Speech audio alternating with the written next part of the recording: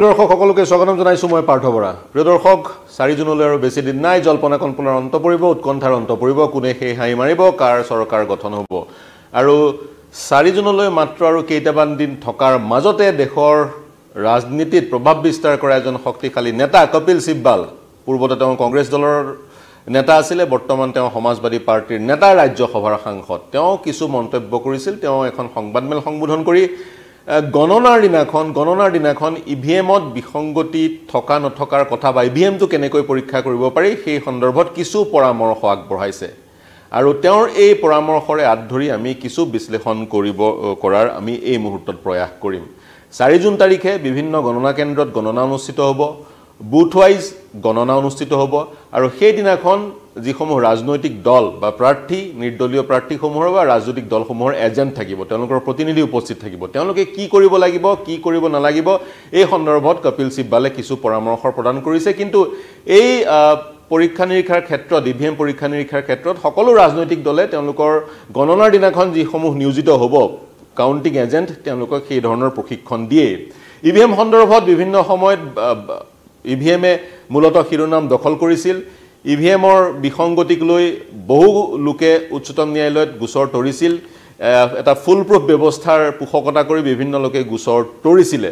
কিন্তু ইলেকশ্যন কমিশ্যনে ক'ব বিচাৰে ই ভি এম সম্পূৰ্ণ ফুল প্ৰুফ ই ভি এমত বিসংগতি হ'বই নোৱাৰে আৰু ইলেকশ্যন কমিশ্যনে এই কথা কৈ এই কথা দোহাৰি বিভিন্ন সময়ত উচ্চতম ন্যায়ালয়ত এফিডেভিট শপতনামা দাখিল কৰিছে। যি কি নহওক আমি পুনৰ কাউণ্টিঙৰ দিনাখন গণনাৰ দিনাখন ই ভি এম যে বিসংগতিপূৰ্ণ নহয় ই ভি এমত যে কোনো ধৰণৰ টেম্পাৰিং বা টেম্পাৰিং বা গাফিলতি হোৱা নাই সেই কথা পৰীক্ষা কৰিবলৈ কাউণ্টিং এজেণ্টসমূহে কি কি কৰিব লাগিব সেই সন্দৰ্ভত বিশ্লেষণ আগবঢ়াম। প্ৰিয় দৰ্শক ই ভি এম মেচিনটো হৈছে ই ভি এম মেচিনত তিনিটা ভাগ থাকে তিনিটা মেচিন থাকে। ই ভি এমটোত তিনিটা মেচিন থাকে এটা হৈছে কণ্ট্ৰল ইউনিট এটা হৈছে বিল বেলট ইউনিট আৰু আনটো হৈছে ভি ভি পেট আৰু সেই তিনিটা মেচিনৰে এটা পৃথক পৃথক চিৰিয়েল নাম্বাৰ থাকে।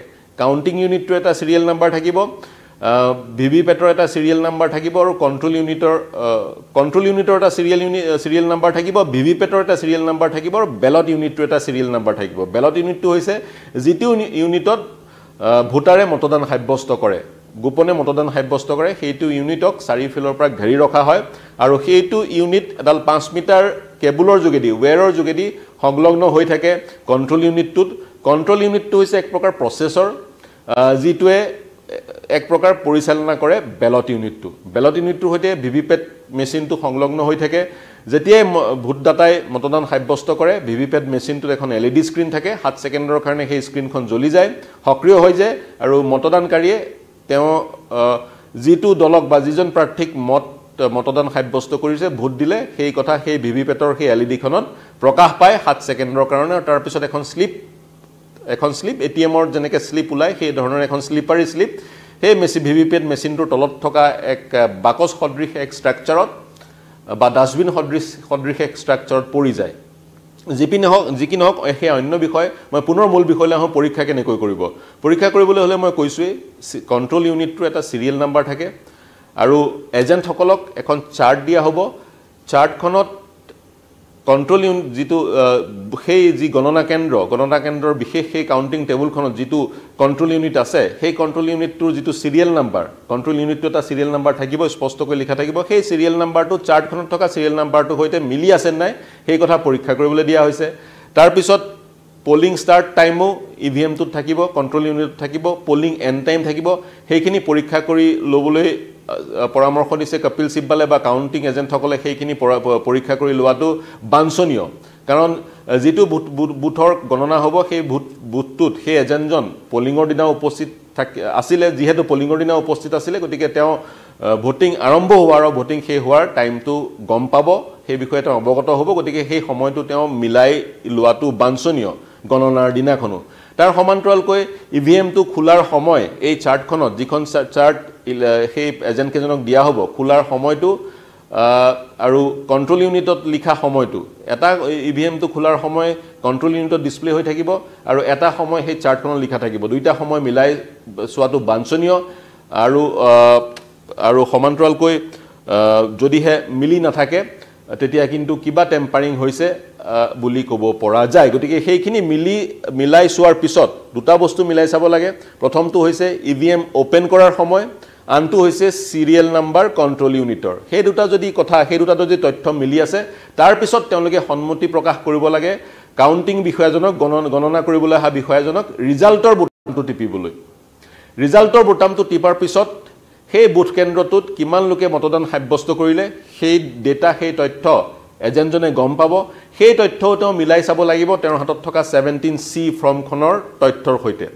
ছেভেণ্টিন চি ফৰ্মখন এজেণ্টসকলক দিয়া হয় আৰু সেই ফৰ্মখনত এটা ভোটগ্ৰহণ কেন্দ্ৰত কিমান লোকে মতদান সাব্যস্ত কৰিলে কিমান লোকৰ নাম যিখন পন ৰেজিষ্ট্ৰি থাকে সেই ৰেজিষ্ট্ৰিত কিমান লোকৰ নাম সন্নিৱিষ্ট হ'ল কিমান লোকে মতদান সাব্যস্ত কৰিলে সেই সকলো তথ্য থাকে।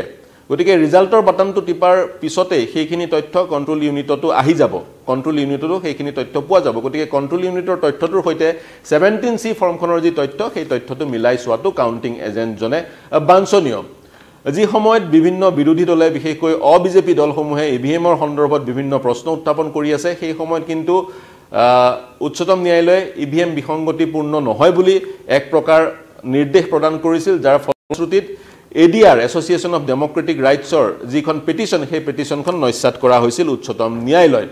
বিশেষকৈ উচ্চতম ন্যায়ালয়ে ভি ভি পেটৰ যিসমূহ শ্লিপ সেই শ্লিপসমূহ এশ শতাংশ গণনা কৰাৰ কোনো ধৰণৰ নিৰ্দেশ প্ৰদান কৰা নাছিলে যি ধৰণৰ নিৰ্দেশ পেটিশ্যনাৰ এ ডি আৰে বিচাৰিছিল এছ'চিয়েশ্যন ফৰ ডেম'ক্ৰেটিক ৰাইটছে বিচাৰিছিল।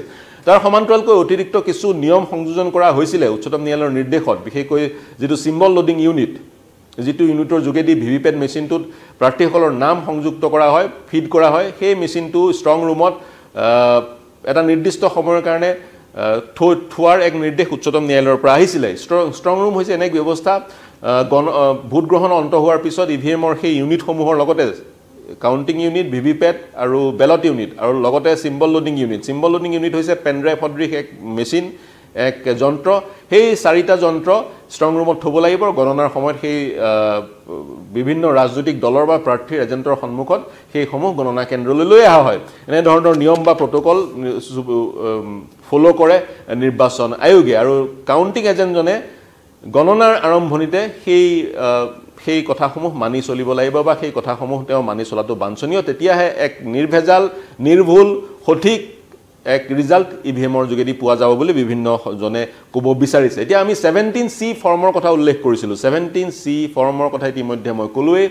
ছেভেণ্টিন চি ফৰ্মখনে এটা বুথত কিমান লোকে ভোট প্ৰদান কৰিলে সেই তথ্য প্ৰদান কৰে। সেই তথ্য সন্নিৱিষ্ট হৈ থাকে ছেভেণ্টিন চি শীৰ্ষক সেই ফৰ্মখনত যেতিয়া প্ৰথম আৰু দ্বিতীয় পৰ্যায়ৰ বা তৃতীয় পৰ্যায়ৰ ভোটগ্ৰহণ অনুষ্ঠিত হ'ল তাৰপিছত ইলেকশ্যন কমিশ্যনে প্ৰথমতে সন্ধিয়াৰ বেলা যি ডেটা প্ৰদান কৰিলে যি তথ্য প্ৰদান কৰিলে উদাহৰণস্বৰূপে যদিহে ইলেকশ্যন কমিশ্যনে প্ৰথম পৰ্যায়ৰ ভোট গ্ৰহণ বাষষ্ঠি শতাংশ হৈছে বুলি তথ্য প্ৰদান কৰিলে তাৰ ছয় দিনৰ পৰা এঘাৰ দিনৰ পিছত ইলেকশ্যন কমিশ্যনে পুনৰ এক তথ্য প্ৰদান কৰিলে যি তথ্যৰ যোগেদি ইলেকশ্যন কমিশ্যনে ভোট গ্ৰহণ অতিৰিক্ত পাঁচৰ পৰা ছয় এঘাৰ শতাংশ বেছিকৈ হৈছে বুলি উল্লেখ কৰিলে। অৰ্থাৎ প্ৰথমতে যদি তেওঁলোকে পাঁচপন্ন শতাংশ ভোট গ্ৰহণ হৈছিল বুলি ক'লে পাঁচ দিনৰ পিছত ভোটগ্ৰহণ ষাঠি শতাংশ হ'ল বুলি ক'লে। আৰু ইলেকশ্যন কমিশ্যনৰ এই কাৰ্যত সন্দিহান প্ৰকাশ কৰা পৰিলক্ষিত হ'ল বিভিন্নজন। আৰু এই সন্দেহৰ ভিত্তিতে এছ'চিয়েশ্যন ফৰ ডেম'ক্ৰেটিক ৰাইটছ নামৰ যিটো সংগঠন যিটো প্ৰতিষ্ঠান বেচৰকাৰী প্ৰতিষ্ঠান এই প্ৰতিষ্ঠানটো উচ্চতম ন্যায়ালয়ৰ কাষ পিলে আৰু উচ্চতম ন্যায়ালয়ত তেওঁলোকে আবেদন জনালে আৰু বিচাৰিলে যিখন ছেভেণ্টিন চি ফৰ্ম ইলেকশ্যন কমিশ্যনৰ সেইখন ৰাজহুৱা কৰা হওক। কিন্তু উচ্চতম ন্যায়ালয়ে সেই ফৰ্মখন নিৰ্বাচনৰ মাজত ৰাজহুৱা কৰাৰ নিৰ্দেশ নিদিলে। যদিও বা গোচৰটো খাৰিজ নকৰিলে পৰৱৰ্তী সময়ত নিয়ম মাফিক সেই গোচৰৰ শুনানি পুনৰ আৰম্ভ হ'ব কিন্তু নিৰ্বাচনৰ মাজত এতিয়াও এটা পৰ্যায়ৰ ভোটগ্ৰহণ হ'বলৈ বাকী আছে। চাৰিশ ছিয়াশীটা সমষ্টিৰ ভোটগ্ৰহণ হ'ল সাতাৱন্নটা সমষ্টিৰ ভোটগ্ৰহণ এতিয়াও হ'বলৈ বাকী আছে। এই মুহূৰ্তত নিৰ্বাচনৰ মাজত ছেভেণ্টিন চি ফৰ্মখন ৰাজহুৱা কৰাৰ কোনো ধৰণৰ নিৰ্দেশ প্ৰদান নকৰিলে আৰু ইলেকশ্যন কমিশ্যনে ক'লে এনেধৰণে যদি প্ৰতিটো বুথৰে তথ্য ৰাজহুৱা কৰা যায় তেতিয়া ডেটাসমূহ তথ্যসমূহ মিছ ইউজ হোৱাৰ পূৰ্ণ সম্ভাৱনা আছে বুলি নিৰ্বাচন আয়োগে ক'লে।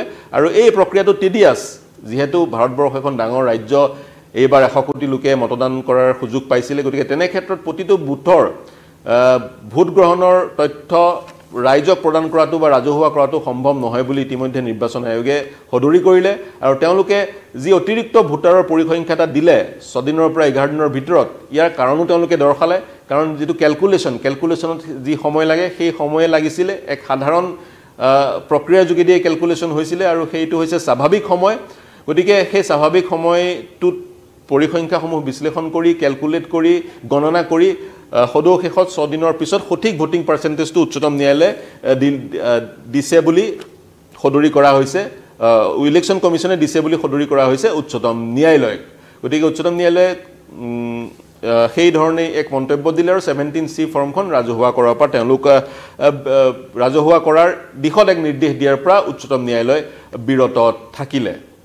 গণনাৰ কাৰণে আৰু বেছিদিন নাই ইতিমধ্যে চাৰিশ ছিয়াশীজন প্ৰাৰ্থীৰ ভাগ্য বন্দী হৈ আছে ই ভি এমত আৰু ই ভি এমবোৰ সংৰক্ষিত হৈ আছে ষ্ট্ৰং ৰুমত। চাৰি তাৰিখে গণনা আৰম্ভ হ'ব যিহেতু মেচিনৰ গণনা। ৰিজাল্টটো ৰিজাল্টৰ যিটো বুটাম আছে বুটাম আছে ৰিজাল্টৰ যিটো ছুইচ আছে কণ্ট্ৰল ইউনিটত সেই ছুইচটো টিপিলেই তাৎক্ষণিকভাৱে কিমান ভোট কোনজন প্ৰাৰ্থীয়ে পালে সেই তথ্য আহি যাব। প্ৰাৰ্থীসমূহৰ এজেণ্ট থাকিব গতিকে তেওঁলোকে সাৱধানে সেই যিসমূহ তথ্য কণ্ট্ৰল ইউনিটটোৱে দিব সেইসমূহ নোট কৰি যোৱাটো বাঞ্ছনীয় তেতিয়াহে আমি এক সঠিক ফলাফল লাভ কৰিবলৈ সক্ষম হ'ম। ই ভি এম সন্দৰ্ভত বিভিন্ন সময়ত বিভিন্ন সমালোচনা সমালোচনা হৈছিলে আৰু এ ডি আৰ নামৰ যিটো প্ৰতিষ্ঠান সেই প্ৰতিষ্ঠানটোৱে বিগত সময়ত উচ্চতম ন্যায়ালয়ৰ বিভিন্ন সময়ত কাষ চাপিছিলে। ই ভি এমৰ সৈতে সংলগ্ন হৈ থকা ভি ভি পেটৰ যি শ্লিপ সেই শ্লিপৰ এশ শতাংশ গণনা বিচাৰি উচ্চতম ন্যায়ালয়ৰ কাষ চাপিছিলে। কিন্তু উচ্চতম ন্যায়ালয়ে এই নিৰ্দেশ এই সিদ্ধান্ত এই দিশত কোনো ধৰণৰ সিদ্ধান্ত গ্ৰহণ নকৰিলে বা নিৰ্দেশ প্ৰদান নকৰিলে। ই ভি এমৰ ব্যৱহাৰ ভাৰতবৰ্ষত দুহেজাৰ চাৰি চনৰ পৰা আৰম্ভ হৈছিলে। ভাৰতবৰ্ষত প্ৰথমবাৰ ই ভি এম নিৰ্মাণ কৰা হৈছিলে প্ৰস্তুত কৰি উলিওৱা হৈছিলে ঊনৈছশ ঊনাশী চনত। ইলেক্ট্ৰনিক কৰ্পৰেশ্যন অফ ইণ্ডিয়াই এই ই ভি এমটো প্ৰথমবাৰৰ কাৰণে নিৰ্মাণ কৰিছিল। ঊনৈছশ তেৰাশী চনত কেৰেলাত পৰীক্ষামূলকভাৱে বিধানসভা নিৰ্বাচনত ই ভি এম ব্যৱহাৰ কৰা হৈছিলে। ঊনৈছশ অষ্টাশী চনত অঠাশী চনত ঊনৈছশ আঠাশী চনত ৰাজীৱ গান্ধী প্ৰধানমন্ত্ৰী হৈ থাকোঁতে জনপ্ৰতিনিধি আইনত জনপ্ৰতিনিধি আইন nineteen fifty people's representation of people's act nineteen ফিফটিত এটা বিশেষ দফা সংযোজন কৰি ই ভি এমৰ ব্যৱহাৰক বৈধতা প্ৰদান কৰা হৈছিলে। ঊনৈছশ আঠান্নব্বৈ চনত ৰাজস্থান দিল্লী আৰু মধ্যপ্ৰদেশত পৰীক্ষামূলকভাৱে লোকসভা নিৰ্বাচনত ই ভি এম ব্যৱহাৰ কৰা হৈছিলে। তাৰপিছত দুহেজাৰ দুই চনত জয়ললিতা বনাম ইউনিয়ন অফ ইণ্ডিয়া শীৰ্ষক এটা গোচৰত ই ভি এমৰ ব্যৱহাৰক সাংবিধানিক মৰ্যাদা প্ৰদান কৰা হৈছিলে আৰু দুহেজাৰ চাৰি চনৰ পৰা বাধ্যতামূলকভাৱে এশ শতাংশই ভাৰতবৰ্ষত প্ৰতিটো নিৰ্বাচনত ই ভি এম ব্যৱহাৰ কৰা হৈছে। দুহেজাৰ ন চনত পুনৰ উচ্চতম ন্যায়ালয়ে হস্তক্ষেপ কৰি ভি ভি পেটৰ সূত্ৰপাত কৰিলে ভি ভি পেট ইণ্ট্ৰডিউচ কৰিলে। ভি ভি পেট হৈছে এনে এক যন্ত্ৰ ক'লোৱেই বেলট ইউনিটটোত কোনোবাই মতদান সাব্যস্ত কৰাৰ পিছত ভোটাৰে মতদান সাব্যস্ত কৰাৰ পিছত ভি ভি পেটটোত এখন এল ই ডি স্ক্ৰীণ আছে। সেই স্ক্ৰীণখন সক্ৰিয় হৈ যায় আৰু ভোট ভোট মতদানকাৰীয়ে কাক ভোট দিলে সেই তথ্য সেই এল ই ডি স্ক্ৰীণখনত দেখা পোৱা যায়। সাত ছেকেণ্ডৰ কাৰণে তাৰপিছত এখন শ্লিপ সেই বাকচটোত পৰি যায়।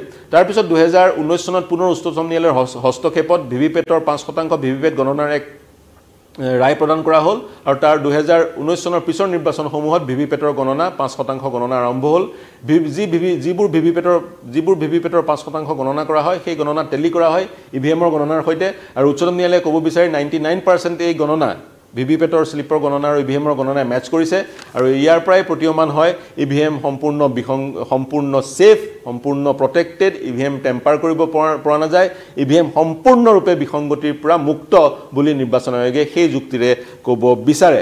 তৎসত্বেও কিন্তু বিভিন্ন সময়ত বিভিন্ন প্ৰতিষ্ঠান উচ্চতম ন্যায়ালয়ৰ কাষ চাপি আহিছে আৰু এইবাৰ এইবাৰ তেনেধৰণৰ পৰামৰ্শ কাউণ্টিঙৰ দিনাখন যাতে ই ভি এম টেম্পাৰ হোৱা নাই কাউণ্টিঙৰ দিনাখন যিটো ই ভি এম গণনাৰ কাৰণে লৈ অহা হৈছে সেই ই ভি এমটোত যাতে কোনো ধৰণৰ টেম্পাৰিং কৰা হোৱা নাই ই ভি এমটো পূৰ্বতে অ'পেন কৰা হোৱা নাই বা ই ভি এমটোৰ কোনো ছুইচ গণনাৰ পূৰ্বে ৰিজাল্টৰ ছুইচ প্ৰেছ কৰা হোৱা নাই সেই কথা সুনিশ্চিত কৰিবলৈ এইখিনিত কাম কৰাৰ পৰামৰ্শ কপিল চিব্বালৰ পৰা আহিছে আৰু এনেধৰণৰ প্ৰশিক্ষণ কাউণ্টিং এজেণ্টসমূহক দিয়া হয় আৰু তেওঁলোকে এনেধৰণৰ কামবোৰ এনেধৰণৰ পদক্ষেপবোৰ গ্ৰহণ কৰাটো বাঞ্ছনীয়। তেতিয়াহে আমাৰ সন্মুখত সঠিক ৰিজাল্ট আহি পৰিব। প্ৰিয় দৰ্শক গণনাৰ দিনটোলৈ আৰু বেছি দিন নাই।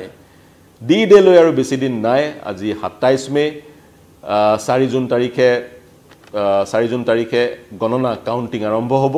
গতিকে উৎকণ্ঠাৰ তেতিয়া অন্ত পৰিব। কোনে সেই হাঁহি মাৰিব সেইদিনাখন গম পাম। আমি বিভিন্ন তথ্যৰ ভিত্তিত কাৰ কিমান সম্ভাৱনা অসমৰ বেলিকা বা সৰ্বভাৰতীয় পৰ্যায়ত সেই সন্দৰ্ভত বিশ্লেষণ আগবঢ়াই আছোঁ। আজি এই বাতৰিয়ে শিৰোনাম দখল কৰাৰ কাৰণে ই ভি এম সন্দৰ্ভত এক বিশ্লেষণ আগবঢ়ালোঁ। কেনে পালে জনাব? আপোনালোকৰ মন্তব্য কি ই ভি এমক লৈ উচ্চতম ন্যায়ালয়ে স্পষ্টকৈ কৈছে দুহেজাৰ তেৰ চনত সুব্ৰমণিয়াম স্বামী ভাৰ্চেছ ইউনিয়ন অফ ইণ্ডিয়া শীৰ্ষক এটা গোচৰত গণতান্ত্ৰিক প্ৰক্ৰিয়াটো যদি ৰবাষ্ট কৰিব লাগে গণতান্ত্ৰিক প্ৰক্ৰিয়াটোক যদি শক্তিশালী কৰিব লাগে এই প্ৰক্ৰিয়াটোক অৰ্থাৎ নিৰ্বাচনী প্ৰক্ৰিয়াটোত ৰাইজৰ বিশ্বাস থকাটো বাধ্যতামূলক। আৰু সেইকাৰণেই এইটো নিৰ্বাচন আয়োগৰ দায়িত্ব যাতে তেওঁলোকে ই ভি এমৰ সন্দৰ্ভত ৰাইজৰ মাজত বিশ্বাসৰ সৃষ্টি কৰে। আৰু ই ভি এমক লৈ ৰাইজৰ মাজত সন্দেহ সৃষ্টি হ'ব পৰা যিবোৰ কাৰক আছে সেইবোৰ কাৰকক নিৰ্মূল কৰাটো নিৰ্বাচন আয়োগৰ কৰ্তব্য দায়িত্ব বুলি উচ্চতম ন্যায়ালয়ে দুহেজাৰ তেৰ চনত সুব্ৰমণিয়াম স্বামী ভাৰ্চেছ ইউনিয়ন অফ ইণ্ডিয়া শীৰ্ষক এটা গোচৰত স্পষ্টকৈ কৈ থৈছে। তেনে ক্ষেত্ৰত বিভিন্ন সময়ত ই ভি এমৰ ওপৰত সন্দেহ প্ৰকাশ কৰি বিভিন্ন লোক উচ্চতম ন্যায়ালয়ৰ কাষ চাপে কিন্তু উচ্চতম ন্যায়ালয়ৰ পৰোক্ষভাৱে বা প্ৰত্যক্ষভাৱে নিজৰ নিৰ্দেশসমূহত ইতিমধ্যে এটা কথা স্পষ্ট কৰিছে সেইটো হৈছে ই ভি এম সম্পূৰ্ণৰূপে বিসংগতিৰ পৰা মুক্ত। কিন্তু যিহেতু এটা মেচিন ই ভি এমটোক বিসংগতিৰ পৰা মুক্ত বুলি কোৱাৰ অৰ্থটো হৈছে ৰিম'টলি ই ভি এমটোৰ যি ডেটা ফিড হ'ল সেই ডেটাসমূহ টেম্পাৰ কৰিব পৰা নাযায়। যদিহে ভুল ডেটা টেম্পাৰ কৰা হয় তেনে এক সন্দেহৰ অৱকাশ বিভিন্ন সময়ত হয় আৰু এই সন্দেহবোৰ দূৰ কৰিবলৈ উচ্চতম ন্যায়ালয়ে বিভিন্ন সময়ত বিভিন্ন নিৰ্দেশ দি থাকে আৰু সমান্তৰালকৈ নিৰ্বাচন বিভিন্ন পদক্ষেপ গ্ৰহণ কৰি থাকে। মূল কথাটো হৈছে ই ভি এমৰ ওপৰত মানুহৰ বিশ্বাস ৰাইজৰ ভোটাৰৰ বিশ্বাস থাকিব লাগিব। তেতিয়াহে আমাৰ গণতান্ত্ৰিক প্ৰক্ৰিয়াটো বা নিৰ্বাচনী প্ৰক্ৰিয়াটো শক্তিশালী হ'ব। প্ৰিয় দৰ্শক আপোনালোকৰ মন্তব্য আপোনালোকৰ মন্তব্য কৰিব ই ভি এমৰ সন্দৰ্ভত আমাৰ সৈতে সংযুক্ত হ'ব। ইউটিউব চেনেল আৰু ফেচবুকৰ যোগেদি আমাৰ সৈতে আপোনালোক সংযুক্ত হ'ব পাৰিব। আৰু ইউটিউব আৰু ফেচবুকৰ কমেণ্ট ছেকশ্যনত আমাৰ আমাৰ এই বিশ্লেষণৰ সন্দৰ্ভত মন্তব্য কৰিব পাৰিব। মন্তব্য কৰি থাকিব প্ৰতিক্ৰিয়া দি থাকিব। ই ভি এম সন্দৰ্ভতেই নহয় আন আন যি নিৰ্বাচনী প্ৰক্ৰিয়া প্ৰক্ৰিয়া সন্দৰ্ভতো মন্তব্য কৰি থাকিব। আপোনালোকৰ মন্তব্য আমাৰ কাৰণে চালিকা শক্তি। নিৰ্বাচনৰ সকলো বা বাতৰিৰ বাবে চাই থাকিব news eighteen Assam north east.